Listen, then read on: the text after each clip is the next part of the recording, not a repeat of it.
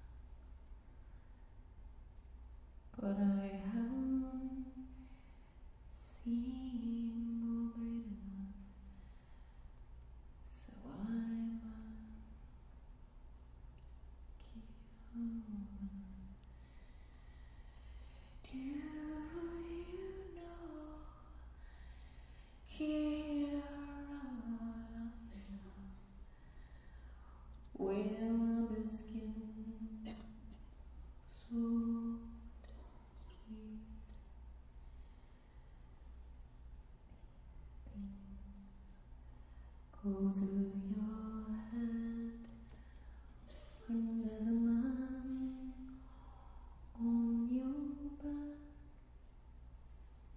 You're pushed flat.